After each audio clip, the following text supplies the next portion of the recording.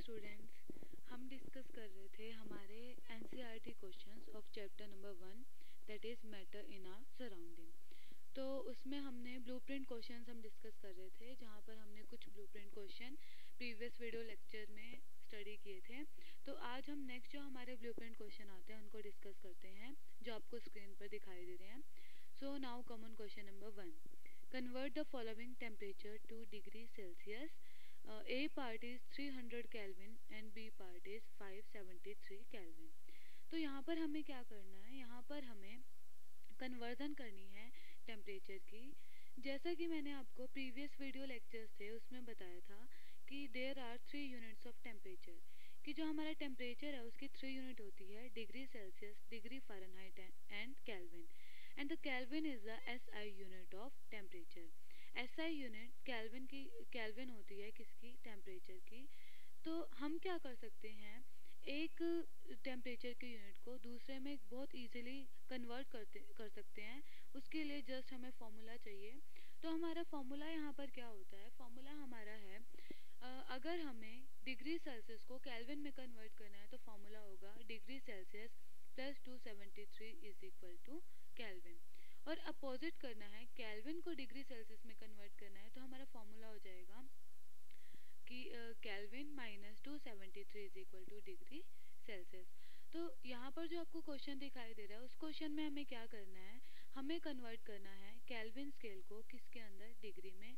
It means यहाँ पर 273 क्या हो जाएगा? Subtract so A part is 300 minus two is equal to 27 degree Celsius Similarly, 573 minus 273 is equal to 300 degree Celsius.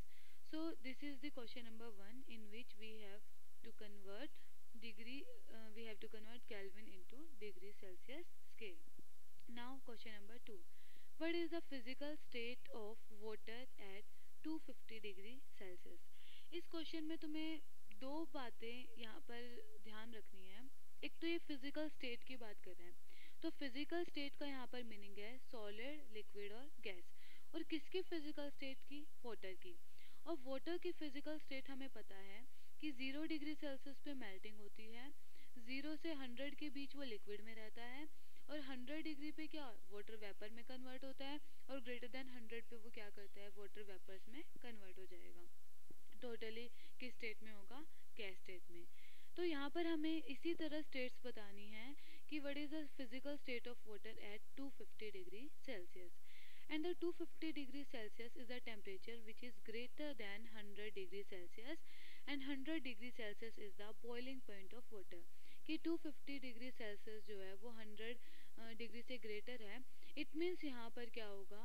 जो water है, जो लिक्विड स्टेट से कन्वर्ट हो चुका किसमें? गैस स्टेट में। तो अगर बात करें physical state of water at 250 degree Celsius is gas तो इसका आंसर क्या होगा? गैस सेकेंड हमें बतानी है physical state of water at 100 degree Celsius 100 degree is the temperature in which liquid state of water convert into gas state it is the boiling point of water ये boiling point है.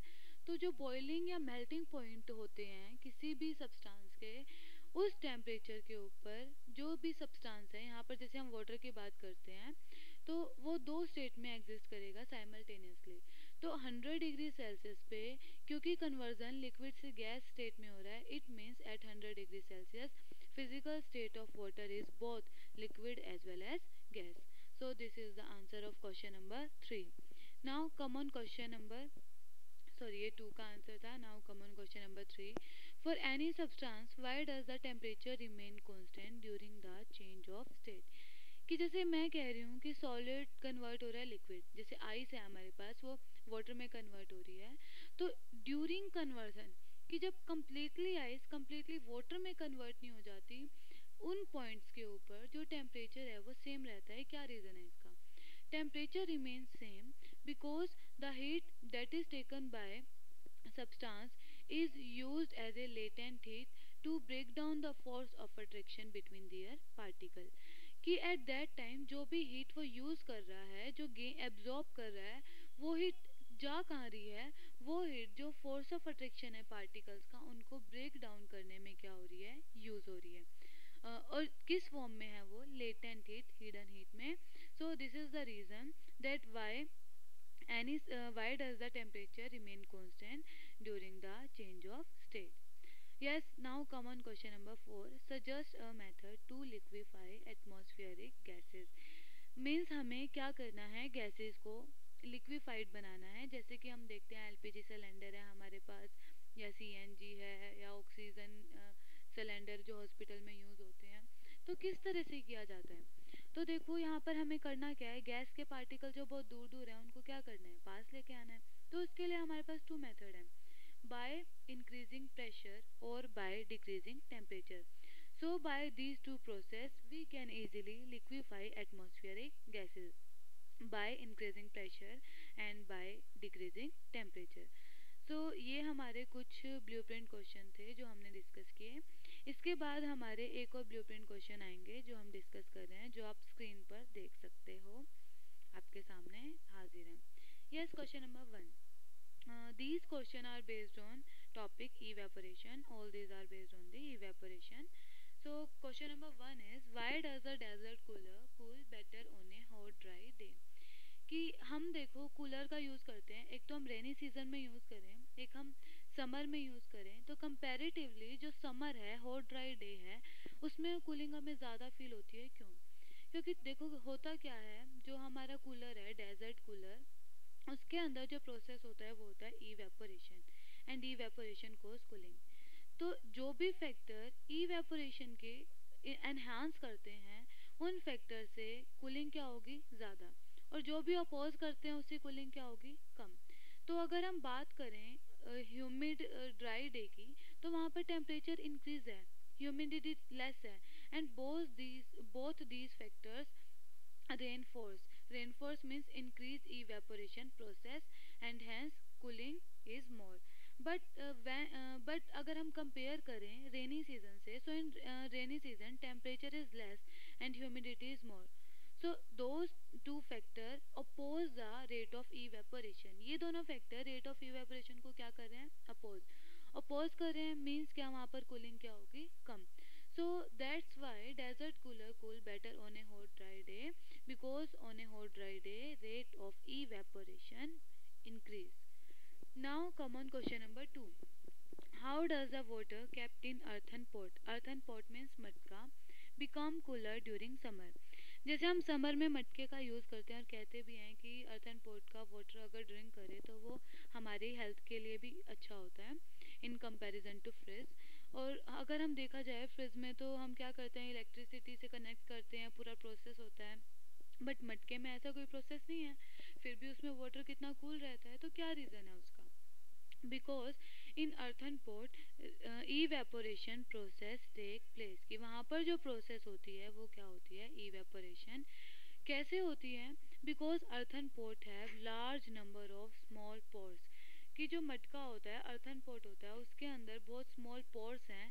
तो जो water उन pores में जाएगा तो क्या होगा? क्योंकि समर है समर मतलब वो क्या करेगा? वाटर पार्टिकल्स हीट लेके लिक्विड से वेपर में कन्वर्ट हो जाएँगे तो इवेपोरेशन प्रोसेस होगा और इवेपोरेशन क्या प्रोड्यूस करती है? Cooling so this is the reason why earthen pot become cool during summer due to evaporation process now question number three why does our palm feel cold when we put some acetone, petrol, or perfume on it?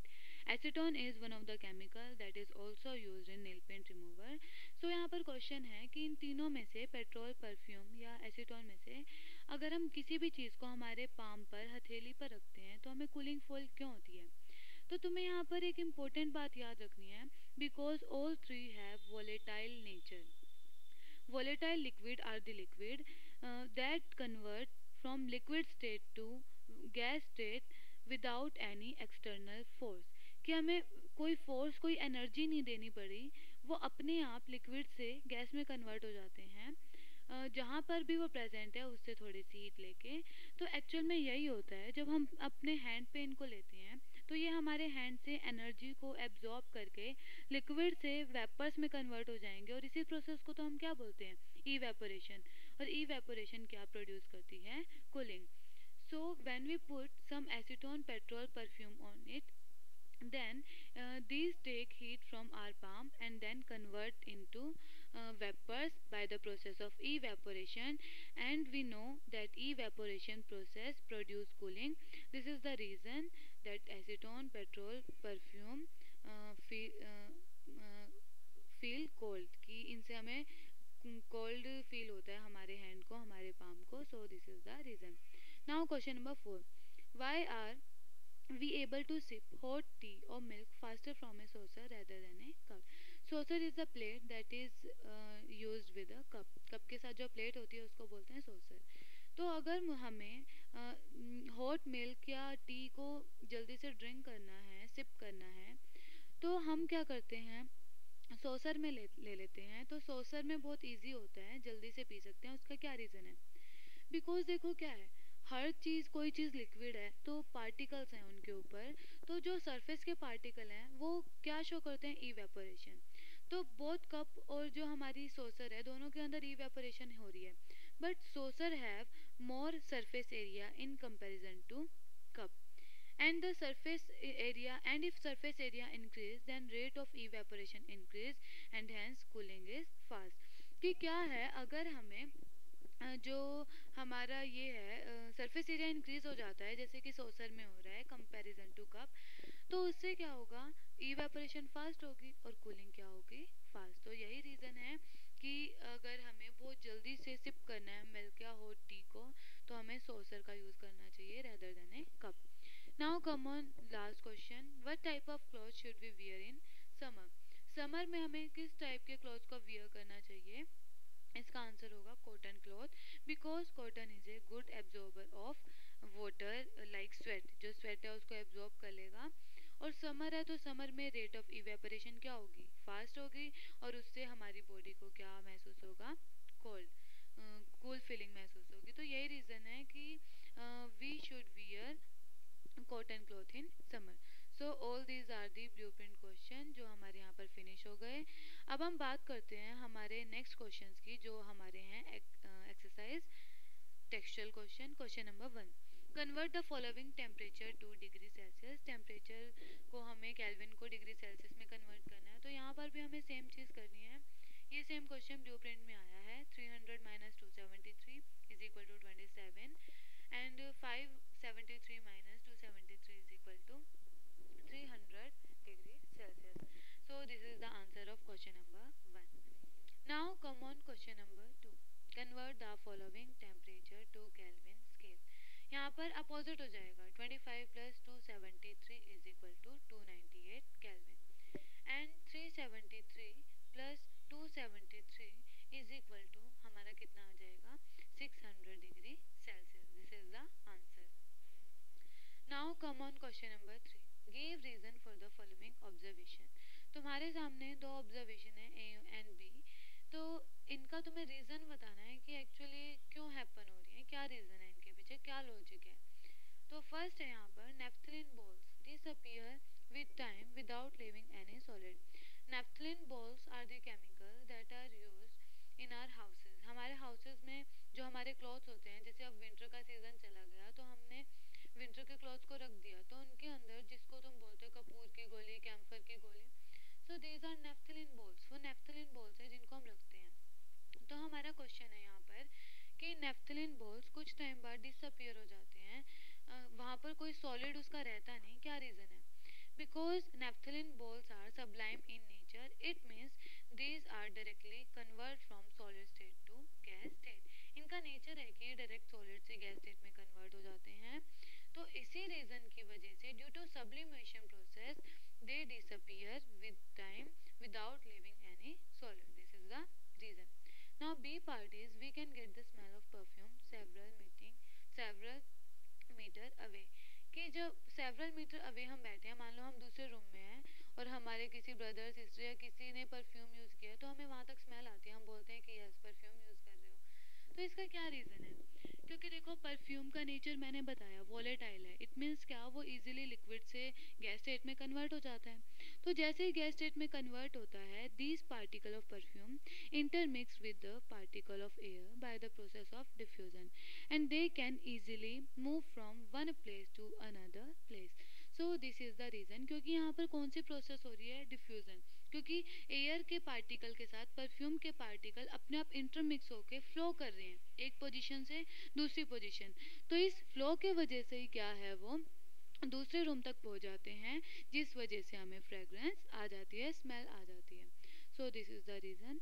Now, come on, question number 4 arrange the following substances in increasing order of force of attraction between the particle.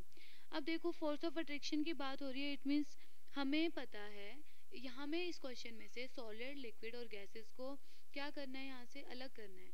अगर हमें पता चल जाए कि कौन सा solid है, कौन सा लिक्विड है, कौन सा गैसेस है, फिर तो हमें पता ही है कि फोर्स ऑफ़ अट्रैक्शन का इंक्रीजिंग ऑर्डर हम देखें तो क्या होगा? Gases and then liquid and then solid. Because particle of solid have very very large force of attraction.